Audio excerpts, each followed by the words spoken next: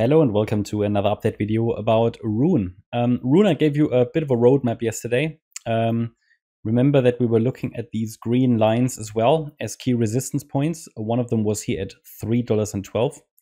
So um, obviously the assumption is that a large degree wave 4 could have completed here in June.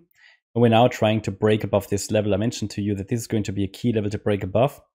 Um, and it would be the first time since August 22 that we get above that level at $3.12.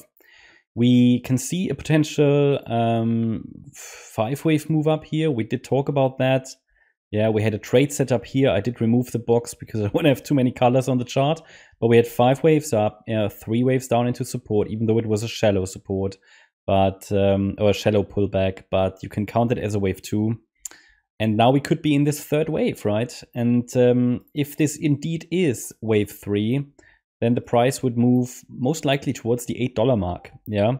So that's one, one scenario. In this scenario, if we break above three dollars and forty, I will assume that we are going straight up without any deep pullback. Okay, at least it increases the likelihood that we will not get this circle wave to pullback.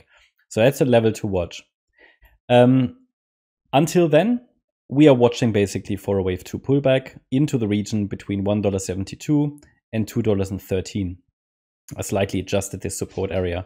So if a deep pullback shows, ideally we don't want it to break below $1.72 to maintain the yellow wave count.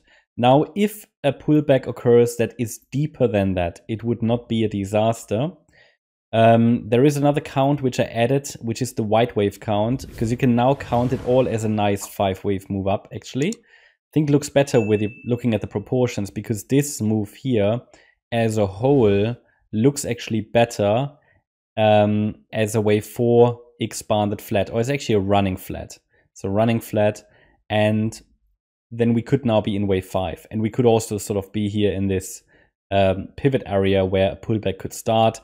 But Again, the trend is up. A pullback doesn't really show yet. We have a small reaction to resistance, so it could also go straight up. I mean, it was one of the bullish setups, as I said.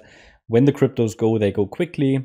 Um, if a pullback shows, they can be used as um, yeah, pullback opportunity entry points. You know, if you want to trade pullbacks in an uptrend. If no pullback shows, you have to trade just the trend continuation if you haven't got a position.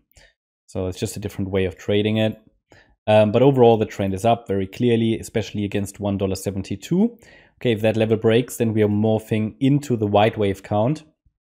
If that happens, I would, I mean, if that happens, what would be support? I mean, key bullish support below which I will really flip bearish, and then there is not really any bullish um, support level left, right? That would be $1.05.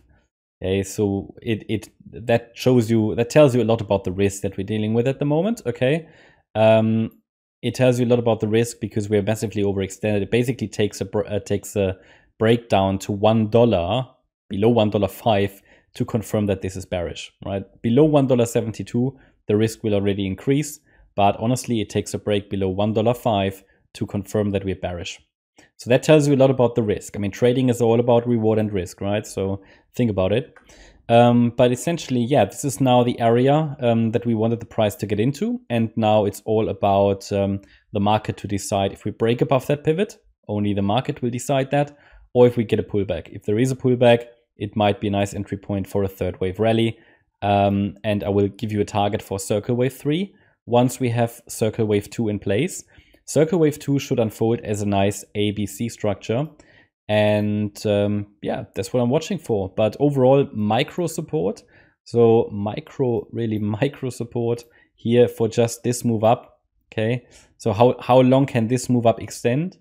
Uh, or when will we assume that um, it, it doesn't extend any longer? Well, to be honest, micro support is $2.17. So if now a wave 4 pullback shows, it could technically go all the way to the 50% FIB level, but likelihood is I would count that as wave 2. So ideally, I don't want this wave 4 to go below $2.36, but it could already be in. So again, you know, don't try to be so, um, don't try to um, focus too much on the micro count. What's more important, especially in third wave rallies, is the support, which I um, made you aware about. So essentially, this is an area between $2.80 and $3.40 where we are watching if a pullback occurs Yeah, I'm not telling you a, a, pullback will occur. Some people try misunderstand that sometimes. No, I'm not telling you a pullback will occur. If a pullback shows, it's an opportunity. If no pullback shows, it can just keep going, right? Very simple. You know, you're looking for setups here. TA is not a prophecy. You know, very important to understand. Okay, that's where I uh, how I see Rune at the moment. So definitely in an uptrend. It's been one of the bullish setups that we called very early already um, after the first five up we had a setup here. Impressive performance since then. Price easily doubled within just a few days. Okay, and now we are watching if a pullback occurs to give us some clarity. Because if no pullback occurs, we're likely straight in the larger degree third wave and could go very quickly to the $8 level. But obviously, still need to be mindful of micro support. So this orange box will wander up together with the price. That's my update about Rune. I hope you liked the update. If you did, please hit the like button, leave a comment and subscribe. And if you really like the content, then please check out the channel membership. Thanks a lot for watching. Bye bye.